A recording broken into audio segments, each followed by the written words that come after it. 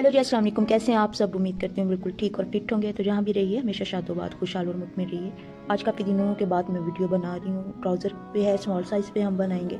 इसमें छोटे छोटे पॉइंट्स हैं जो मैंने क्लियर किए हैं। बिगनर्स के लिए ये बड़ी इन्फॉर्मेटिव ये वीडियो होने वाली है। आज स्मॉल साइज़ का हम ट्राउज़र कट कर रहे हैं तो इसकी हिप रहेगी थर्टी नाइन इंचज़ इसकी जो वेस्ट है वो थर्टी टू इंचज़ है लेंथ इसकी थर्टी सेवन इंचज़ है और इसका जो बॉटम है पाइंट है, उसका हमारा वो सिक्स एंड हाफ़ इंचज़ है।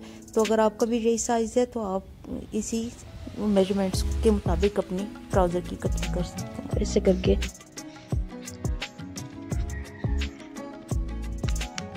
बॉडी से हम जब मेजर करेंगे तो साइज़ लेना है ताकि उसमें कोई किस किस्म की आपने लूजिंग नहीं देनी, बस ऐसे टाइटली एक फिंगर अंदर रखेंगे और आपने ऐसे करके उसको राउंड में मेजर कर लेना है, कमर का भी और हिप का जब आप मेजर करेंगे तो आपने उसके अंदर दो फिंगर रखनी है ऐसे करके टू फिंगर्स रख के तो आपने हिप का राउंड भी ले लेना है। जितना आप आए, आपने उसको नोट कर लेना है। यहाँ से ये हमारा वेस्ट का होगा, फिर ये जो हमारा फुल स्पास्ट होता है हिप का साइज़ तो यहाँ से भी आपने इसके अंदर इसको मेजर करना है तो आपने दो उंगली रख के तो फिर इसको मेजर करना है। और लेंथ का आपने ले लेना है कि जितनी आपकी लेंथ तो मेरी, जो मैं ट्राउज़र कट कर रही हूँ, उसमें थर्टी सेवन इंचज़ लेंथ है।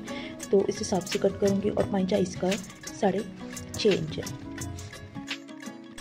तो ये स्मॉल साइज़ का ट्राउज़र है तो इसकी कमर बत्तीस इंच है तो आपने इसमें बारह इंच लूजिंग ऐड करनी है।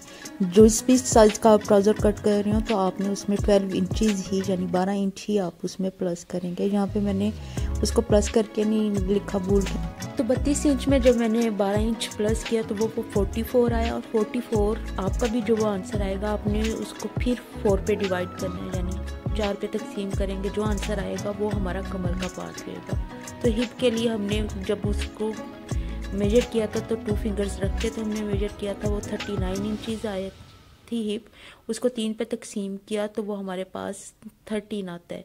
तो ये हमारा थाई पार्ट है। एक जहाँ पे स्ट्रेट लाइन लगानी है, कपड़े का आड़ा तिरछापन निकालने के लिए। ये हमारी किनारे वाली साइड होगी। और ये वाली साइड जो हमारी, ये ऑन फोल्ड है, यानी ये वाला साइड हमारी फोल्ड में रहेगी, ये वाली हमारी ओपन वाली साइड होगी। तो यहाँ पे आपने पहले एक लाइन लगानी है कपड़ा का आड़ा तिरछापन निकालने के लिए। फिर उससे नीचे आपने दो इंच निशान लगाना है अलास्टिक की फोल्डिंग के लिए। अगर अलास्टिक आप एक इंच का लगा रही हैं तो फिर आप ये मार्जिन डेढ़ इंच पे रखिएगा, क्योंकि हाफ़ इंच फोल्डिंग में चला जाएगा और एक इंच हमारा उसके ऊपर परफेक्टली आ जाए। अब यहाँ से हमने इसकी लेंथ का मार्क लगाना है कि जितनी हमारी लेंथ है। लेंथ हमारी है thirty seven inches thirty seven inches का हमने ये लेंथ का मार्क लगा लेना। यहाँ तक हमारा लेंथ का मार्क चला जाएगा।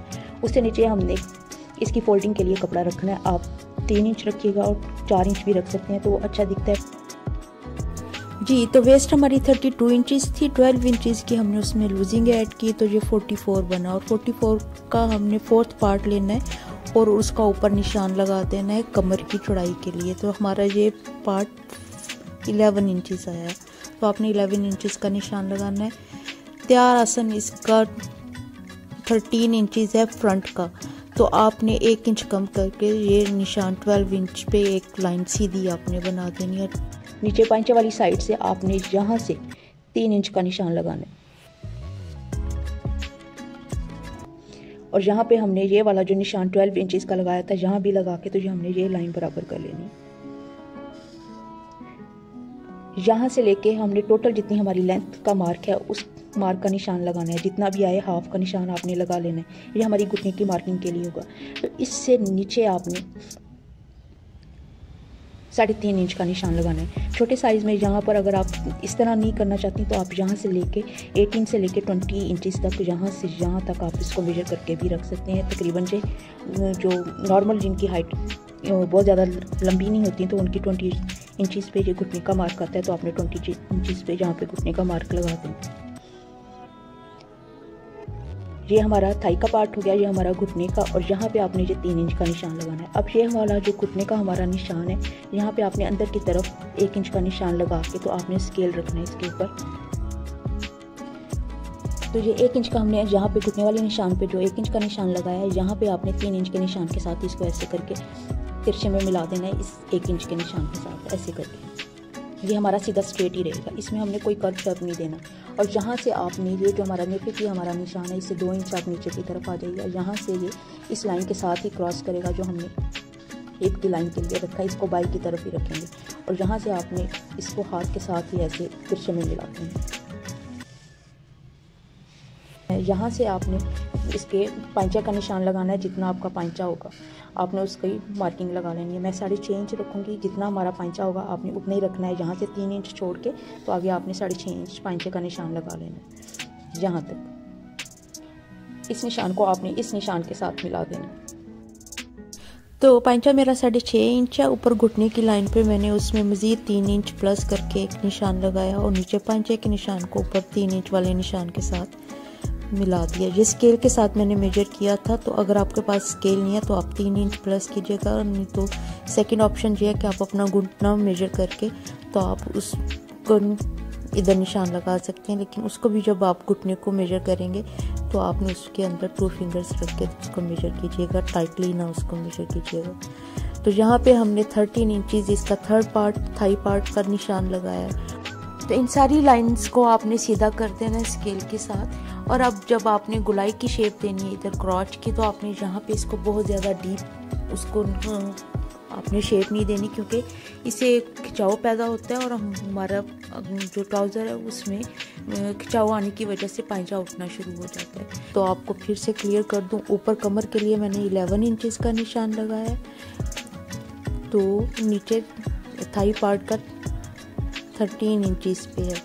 तो यहाँ पे जो इसकी गुलाब मिला देना ये हमारे फ्रंट पार्ट की कटिंग रहेगी यहाँ वाली फोल्डिंग वाली साइड पे अपने बाई की तरफ़ थोड़ा तिरछा कपड़ा निकालना है क्योंकि जब जब कपड़ा पलट के इसके ऊपर आता है तो यहाँ पे ये कपड़ा अगर सीधा रखेंगे तो यहाँ से ये कम पड़ जाता है। क्योंकि यहाँ पे हल्की सारी तिरछी की कटिंग होती है तो ये कपड़ा अगर आप सीधे में कट कर देंगे तो वो तिरछा कपड़ा इसके साथ मैच नहीं करेगा, ये कम रहेगा। तो यहाँ से आपने जो नीचे वाले फोल्डिंग के लिए आपने कपड़ा छोड़ा है, उसको हल्का सा आपने स्लांट में ऐसे करके तो कटिंग करनी है, उसकी मार्क लगा के।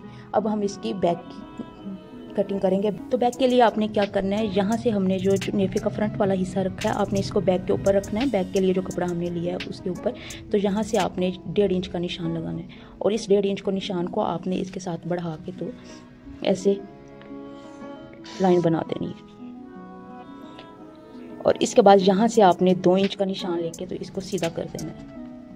और ये हमारी जो पहला हमारा थाई पार्ट का निशान है, इसे आपने एक इंच नीचे डाउन जाना है।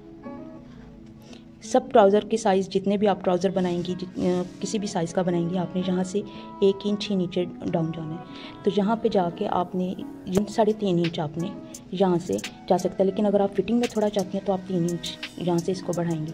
लेकिन ये है कि कोई तंगी ना हो उसमें ट्राउज़र पहनने में आसानी रहे, क्योंकि पैंट तो हम बना रही हैं, थोड़े लूजिंग में चलेगा। तो यहाँ से आपने साढ़े तीन इंच रखना है इसको।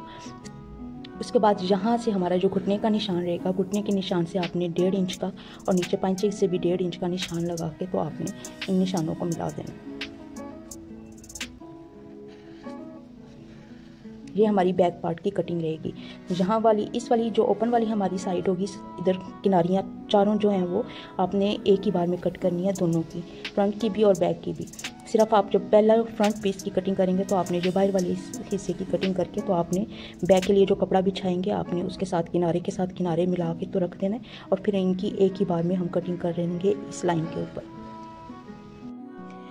तो जब हम चारों पीसों की कटिंग कर लेंगे तो चारों पीस कटिंग कर लेने के बाद जो हमने बैक वाले दोनों हिस्से हैं, उनको सेपरेट कर देना है और फ्रंट वाले दोनों हिस्सों को अलग कर देना है। अलग कर लेने के बाद अब यहाँ पे आपने जो क्रॉच वाली साइड होगी, यहाँ से आपने इसको एक इंच डाउन करना है। इस कपड़े को इस किनारे के साथ मिलाएँगे, जो सेंटर का पॉइंट बनेगा।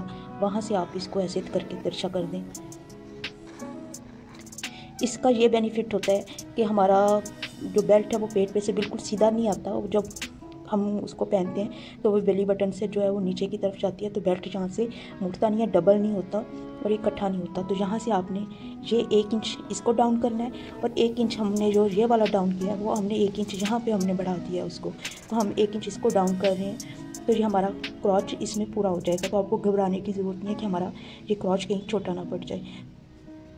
तो ये छोटी सारी वीडियो थी तो उम्मीद है कि आपको आज की वीडियो ये समझ में आ गई होगी, जो बिगिनर्स बच्ची हैं, उनके लिए भी मैं फिर से दोहरा दे देती हूँ कि जितना भी आपने हिप का अपने साइज़ जो लेना है, उसको इंची स्टेप को आपने जब राउंड में घुमाना है तो उसमें कोई लूजिंग नहीं आपने रखनी। उसका कमर अच्छी तरह से फिटिंग में आपने मेजर कर लेनी है, क्योंकि हम उसमें लूजिंग ऐड कर रहे हैं। और हिप के लिए आपने जितनी भी हिप है, उसका जब आपने हिप का राउंड ऐसे मेजर करना है, जो फुल स्पार्ट होता है हिप का तो वहाँ से आपने उसमें टू फिंगर्स ऐसे रख के तो फिर आपने इंची टेप से उसका साइज़ लेना है। जितना भी साइज़ होगा, आपने वो इधर लिख लेना और उसको तीन पे तकसीम करना है। जितना भी आपका आंसर आएगा, वो आपका ये थाई पार्ट रहेगा फ्रंट के लिए।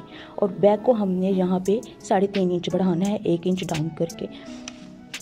और यहाँ पे ये स्लांट में रहेगा और बैक यहाँ से जो हमने बैक फ्रंट से बढ़ा के रखनी है, वो हमने डेढ़ इंच रखनी है। उम्मीद है कि आज की छोटी सारी वीडियो आपको इन्फॉर्मेटिव लगी होगी। और अपने रिश्तों का रखिए। बहुत सा ख्याल।